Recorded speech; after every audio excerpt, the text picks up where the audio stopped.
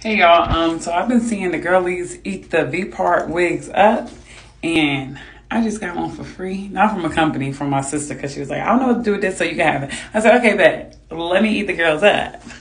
All right, so this is the braid pattern. Not too much. I just took out a hairstyle, and my scalp is kind of sore. So, how many braids is this? Two, four, six, seven big braids. That's it. That's it. That's all.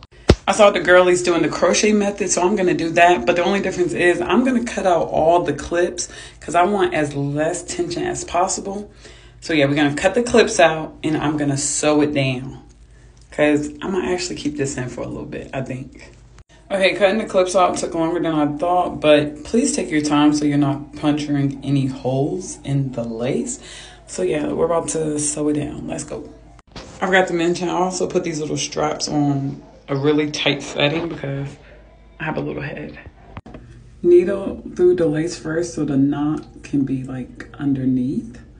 And then we're gonna start sewing. I don't know how I'm gonna show this. So I'm just like up under there through the lace. And then pull through. That's it. And that's it, that's all. Loop. Okay, so it's also down and I've already crocheted this part. Ah, you can't tell me this not my hair. Let me show y'all how I did it. Okay, so I take a piece from like right here. Not at the very front, but like right here. And then I crochet it going, it's hard to see in this, but like you grab it and you crochet it going forward. Uh-huh.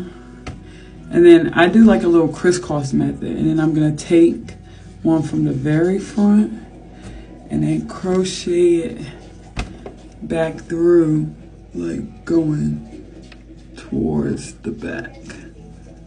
Like that. Little crisscross motion. And then you're going to just keep doing that all the way to the back. And this is the finished product. Oh. Mm. I like it. She cute. She cute. She cute.